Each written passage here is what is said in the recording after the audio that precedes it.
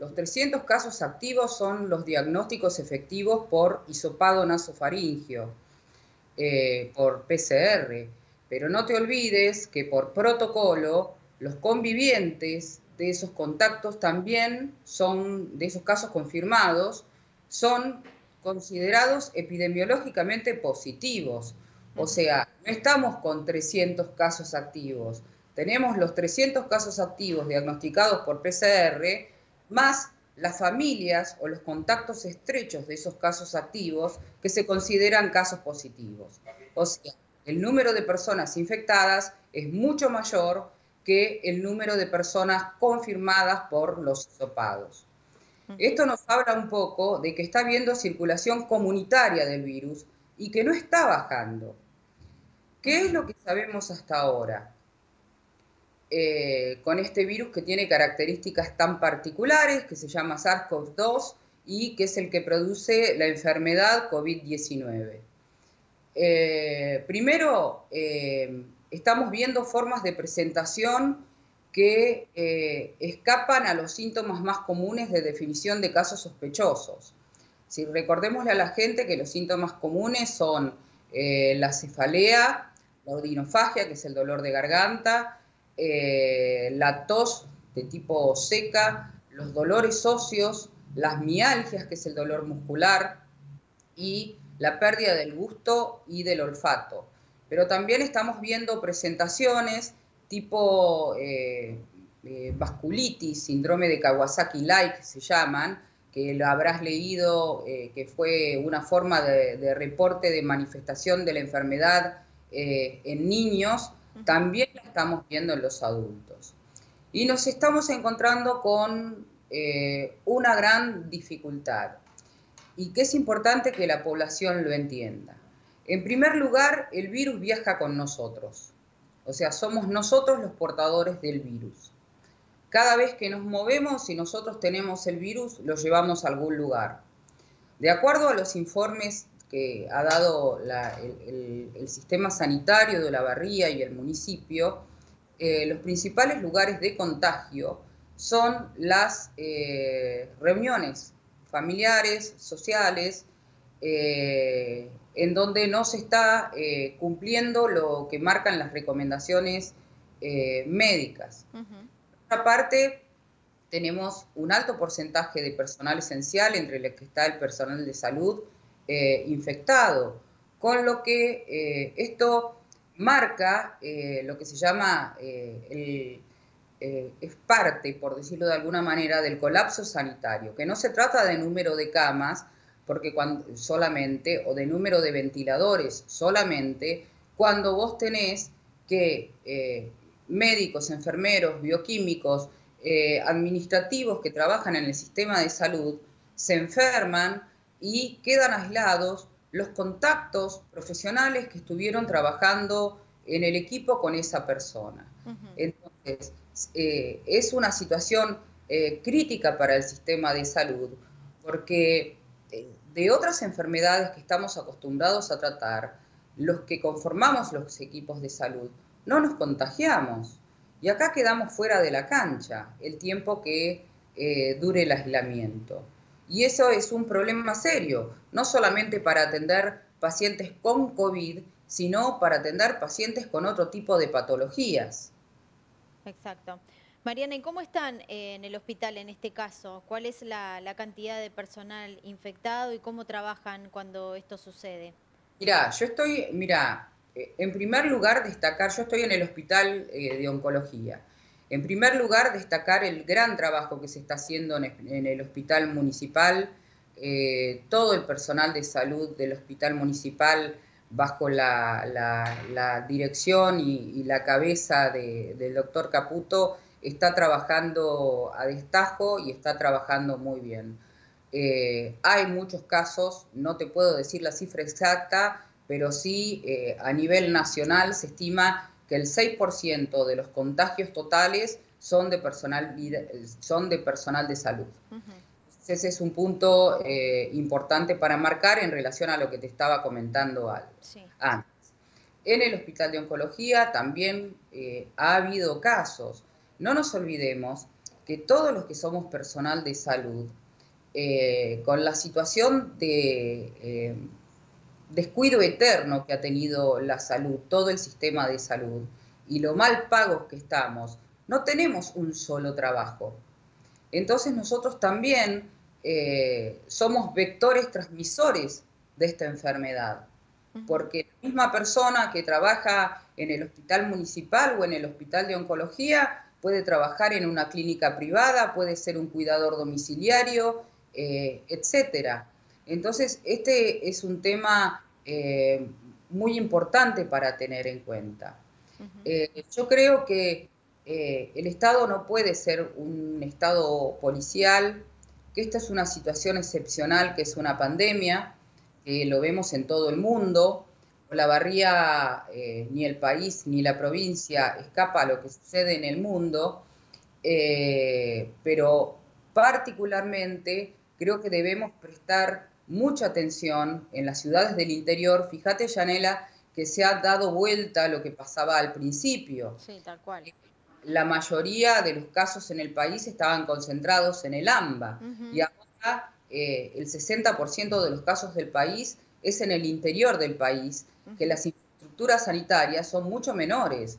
Nosotros, yo hacía eh, la cuenta preguntando tenemos aproximadamente 20 ventiladores para una población mayor a 100.000 habitantes, sin contar los ventiladores que están en quirófano, que uno no los saca porque siempre hay cirugías de urgencia. Entonces, esto pone al sistema de salud, si bien todavía no está al borde del colapso, si nos seguimos comportando de la misma manera, eh, no vamos a obtener resultados diferentes. Entonces, acá me parece muy importante, no para culpar eh, ni para buscar responsables, porque cualquiera puede contagiarse de este virus que tiene la característica de ser altamente contagioso. Pero es muy importante la responsabilidad individual, porque no, el Estado no puede poner un policía en la puerta de la casa de cada uno. Nos encontramos con pacientes que, eh, así como hay algunos que se han comportado eh, siguiendo las recomendaciones sanitarias eh, que se dan en todo el mundo, eh, hay otros que no, se comportan de la misma manera. Entonces, cuando llegan al interrogatorio médico siendo casos sospechosos de COVID, nos mienten.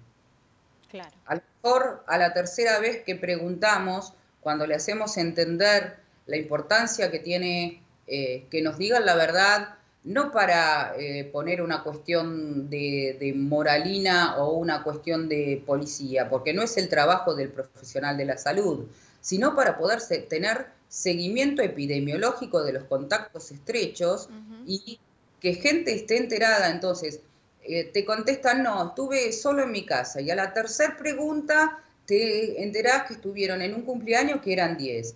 Si vos no sé si ese interrogatorio con profundidad, hay miembros de otras 10 familias que fueron contactos estrechos con el, eh, con el infectado. Entonces, si el paciente no dice la verdad, nosotros no estamos para juzgar qué hicieron, eh, pero sí tenemos que saber para evitar que el virus eh, se siga esparciendo. en, el caso, en el caso de eso, por ejemplo, cuando ustedes detectan que hubo una reunión social y que podría haber más personas eh, contagiadas, ¿se hace un, llamado telefónico? ¿Se testea a esas personas también? ¿Se les pide que se aíslen? ¿Cómo se trabaja? Eso, yo te cuento lo que es el protocolo. Eso lo hace el hospital municipal. Eh, ahora, por el exceso de trabajo que está teniendo el, hospital municipal, habitualmente todos los casos sospechosos de COVID, eh, incluso de pacientes con, obras sociales o medicinas prepagas, se mandaban epidemiología del hospital y el control, el seguimiento de los casos positivos y de los contactos lo hacían desde el hospital. Ahora nos han pedido a los médicos que somos, eh, que tenemos pacientes con COVID y que son pacientes nuestros, que el seguimiento lo hagamos nosotros. Entonces a veces te encontrás que la gente por no meterse en problemas eh, no te cuenta cuál es la familia por miedo a que otra familia eh, se sienta ofendida o quedar como un buchón. Estamos en una situación epidemiológica excepcional y evitar que la gente se enferme sabiendo quiénes son los contactos no es ser buchón, es intentar proteger a la población con un número de casos creciente, Yanela. Estamos con, como te decía, con 300 casos activos, pero en, lo que van de los últimos días, eh, hemos tenido casos de cerca de eh, 700 casos. O sea, estamos en el, podríamos decir, en el tercer brote que tenemos en Olavarría, el que hubo en marzo, que tuvo muy poquitos casos, que fueron tres, si no recuerdo mal, eh, tres, cinco Después hubo uno en junio y ahora el, el, 60% de los casos se está dando en los últimos 20 días del número total de infectados que tenemos confirmados en Olavarría, que son 1.600. Mariana, eh, estamos viendo imágenes del parque en este momento y se, este, se están viniendo los días lindos y es eh, una actividad que han postergado y han relegado muchos olavarrienses, la de salir de casa hasta que comenzaron estas temperaturas. ¿Qué le decimos a la gente que va al parque, que va a realizar actividad física, que se sienta quizás a compartir un momento, a, bueno, eh, a, tomar mate? Entendemos que cada uno lleva el propio, ¿no? Y esto lo remarcamos porque ya algunos lo hemos adoptado ya como, como levantarnos a la mañana y, no sé, y cepillarnos los dientes. Digo, ya el mate para algunos forma parte de, una cuestión propia y personal, pero sabemos que hay otras personas que no. Entonces, ¿qué, qué puedes decirle a toda la gente que está concurriendo a los parques a los espacios públicos y, los espacios verdes eh, de manera constante o bueno, que lo hagan alguna vez por semana? ¿Qué, les decimos? Eh, a ver, es, yo creo que, que, el poder salir al aire libre, además de que es muy importante para la salud mental, sobre todo para los niños, eh, y por, por, una cuestión, la salud no es solamente física, es mental. Y la actividad física eh, es buena para todo el mundo. Eh, eh, me parecería importante que ahí tendrían que ser políticas municipales que estuvieran más direccionado el tema de las caminatas y las salidas. direccionado como el sentido de las calles, que la gente no se encuentre de frente cuando va haciendo una actividad deportiva, que está permitida hacerla sin barbijo, pero ahora una de las últimas conclusiones de estas últimas semanas, que es eh, muy importante, es que el virus eh, dura en aerosoles en el aire. Entonces, la distancia, que es muy importante, que es cuando uno está eh, caminando o trotando, la distancia debe ser mucho mayor que cuando uno está estático. Te doy un ejemplo claro. estamos vos y yo haciendo fila en la puerta del supermercado. Las dos paradas, con nuestros barbijos puestos, es importante el uso de anteojos, porque también el virus entra por la mucosa conjuntival. La protección ocular es muy importante. Entonces, cuando las dos estamos paraditas, nuestra distancia con dos metros es suficiente. Si estamos caminando, esto que te estoy diciendo no lo inventé yo, son estudios científicos que están comprobados. La distancia tiene que ser de cuatro metros del otro. De cuatro metros del otro. Por que venimos con la respiración más agitada y hay más... La propagación es más veloz. Eh, exactamente, es más extenso eh, la, la aerolización del, del, virus, ¿se entiende? Y si se está trotando, la distancia tiene que ser de 10 metros. Entonces, hay cosas simples para hacer, para organizar, como la mayoría de la gente sale en los distintos parques. Eh, vos fíjate que el Parque Mitre tiene la, la mano que da para el centro, digamos, y la mano que da eh, nunca me acuerdo los, los, está eh, Brown y está Cerrito. Que los que van por Brown vayan para una dirección y que los que vienen por Cerrito vayan en, la, dirección contraria, cosa de no tener que encontrarte de frente. Estas son cosas de, sentido común eh, y de lógica. Sí, darle la vuelta, digamos, todos en la misma dirección para no, eh, no, se produzca el encontronazo. Con otro que te venga respirando de frente. Bien. Es una cosa simple y importante. Después, para los que están sentados en el parque, ¿sabés lo que hicieron en el Central Park? Debes haber visto las imágenes. Hicieron círculos de dos metros de diámetro. Entonces, vos en esos círculos de dos metros de diámetro, vos sabés eh, que la gente que se junte va a tener la distancia necesaria para no contagiarse.